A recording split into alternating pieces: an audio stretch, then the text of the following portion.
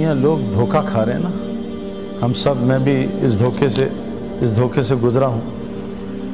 और बहुत 25 साल की धोखे की ज़िंदगी गुजारी है। देखो, मैं आपको एक बात बताऊँ। इंसान को आँख ना धोखा देती है ना? धोखा। मुझे 1989 में मैंने ग्रेजुएशन की, उसके बाद क्रिकेट के फ़ील्ड में 15 साल गुजारे। कुरान की एक आयत है वफिस समय रिस्कुम वमा तुअदून तुम्हारा रिस्क आसमानों में है। एक आयत है ना? रिस्क आसमानों में। एक मैंने चौदहवीं चाँद चौदहवीं चाँद की रात थी। मैंने तालाब के पास खड़ा हुआ था।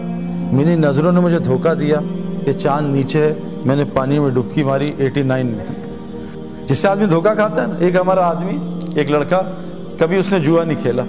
कैसिनो गया मेरा दोस्त? कैसिनो तो कैसिनो में जाके हमने तो सबको फ़कीर होते देखा है। मेरे कितने जानने वाले सड़कों पर भीख मांगते हैं। वो कैसिनो गया, उसने दूसरे के पैसे डाले मशीन में। दस डॉलर कॉइन एक पहला कॉइन डाला, मशीन पागल हो गई, दौड़ दौड़ दौड़ दौड़, दो हज़ार डॉलर बाहर निकल। यार, ये तो आसान काम। बातिल यूँ बातिल का सक्सेस फ़ौरन शुरू हो जाता है फ़ौरन सक्सेस और हक का जो है सक्सेस वो लेट स्टार्ट होता है। हज़रत मोहम्मद वसम का दीन हक है, आपको सक्सेस कहाँ मिला जाके? बदर में जाके, कितने साल गुजर गए? नू सलाम, हक दीन है। आपको सक्सेस साढ़े नौ सौ साल में अस्सी आदमियों ने कलमा पढ़ा। साढ़े नौ सौ साल अस्सी आदमियों ने। तो मेरे प्यारे दोस्त बुर्गो आज दुनिया धोखा खा रही है। वजह है कि वो इस आँख से जो कि धोखा देती है, अपनी लाइफ को गुजार रही है। मैं आपको एक मिसाल कुरान की दूँ। कुरान में एक किस्सा है, एक नबी थे, तालूत सलाम। आपने कहा तालूत, अपनी कौम को लो और जालूत से जाके जंग करो। अब जनाब, जब ये जंग का हो गया, फौज तैयार होगी छः लाख। तो अल्लाह ने कहा तालुत, हम तुम्हारी कौम का इम्तिहान लेंगे। इनको प्यास की हाजत डालेंगे।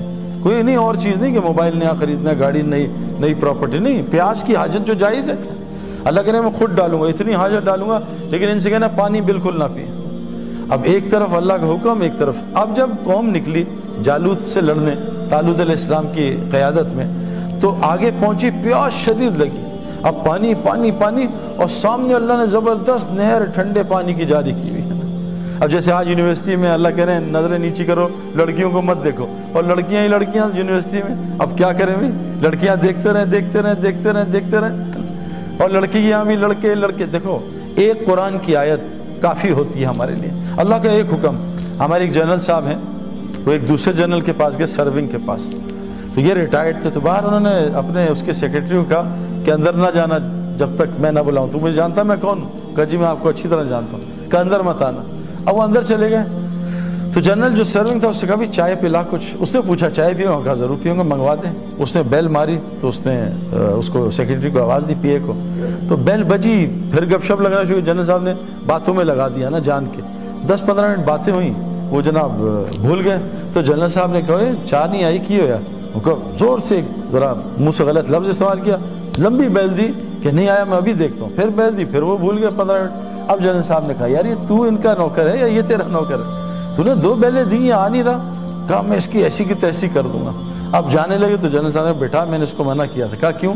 क्या तुझे ये एहसास दिलाना था ये एक मखलूक है तो इसका मालिक नहीं। इसको आर्मी पैसे देती, तू नहीं देता।